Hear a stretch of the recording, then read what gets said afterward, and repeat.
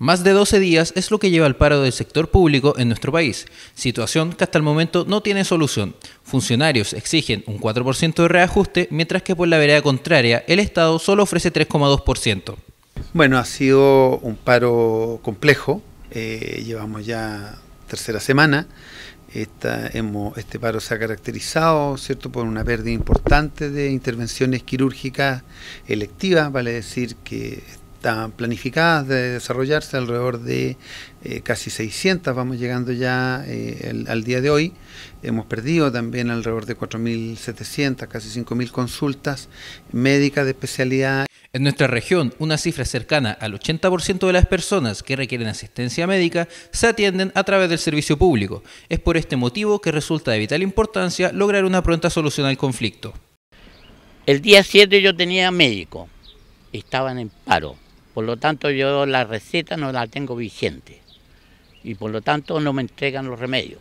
Y soy crónico, soy hipertenso, no estoy contra los paros, pero yo creo que cuando gente crónica está sin remedio siete días y yo voy a una farmacia, no me van a vender sin receta.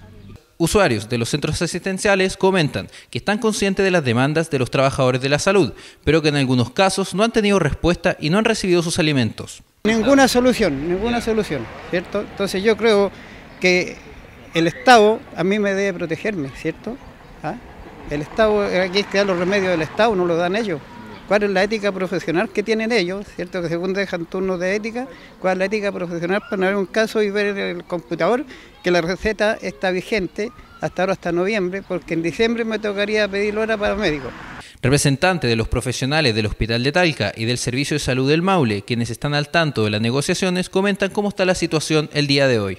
Bueno, a raíz de las negociaciones que terminaron aproximadamente como a las 12.30 de la noche, eh, recibimos instrucciones de continuar por 48 horas más el paro de hoy. Las negociaciones son de público conocimiento, si bien es cierto los gremios incluso bajaron sus pretensiones económicas, eh, el ministerio en este caso, digamos, nunca hizo una presentación. Por el momento, solo son atendidas las causas más graves y críticas, además de las cirugías que son de vida o muerte. Todo lo demás debe ser reprogramado.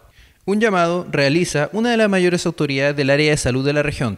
En este caso, cierto, lo que nosotros llamamos es a concurrir responsablemente a los servicios de salud. Aquellas personas que tengan cuadros de baja complejidad deben concurrir a los centros de atención primaria, aquellas personas que tengan cuadros de mayor complejidad deben concurrir a nuestros servicios de hospitalizados. Nosotros Sabemos desde hace mucho tiempo que nuestros usuarios son perfectamente capaces de identificar la diferencia de estas dos situaciones y nuestras estadísticas nos indican que así es.